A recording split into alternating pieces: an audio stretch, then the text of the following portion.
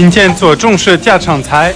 韭黄炒蛋、牛肉炒青菜、豆腐砂锅、一碗菠菜汤。大家好，我是广谭，来自法国，定居在上海十七年的一个法国厨师。所以我本身是做法餐，但是现在因为在中国时间比较长，我做融合菜比较多。然后我现在主要的工作就是开一个视频咨询的公司，我们是做菜品研发。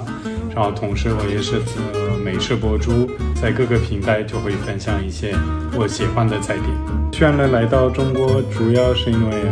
比较一个好奇心的，我对中国不是很了解，当时，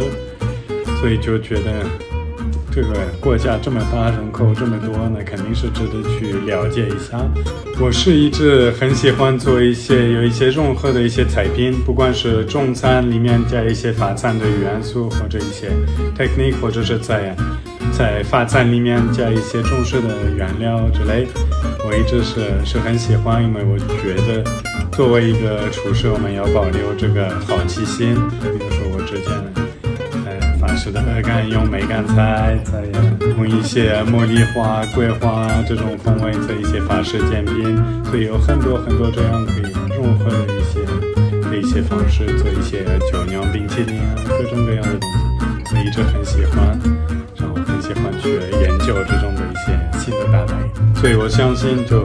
是有一个过程，需要慢慢的把真正的中餐分享到国外，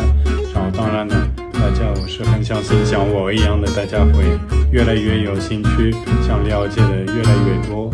然后我也是自己就很希望之后有这个机会做这个，在国外的那些社交媒体里面就去分享一些我喜欢的一些中餐呢，然后通过一个外国人的眼睛呢去跟他们分享我怎么看中餐，我怎么了解，怎么为什么喜欢中餐呢？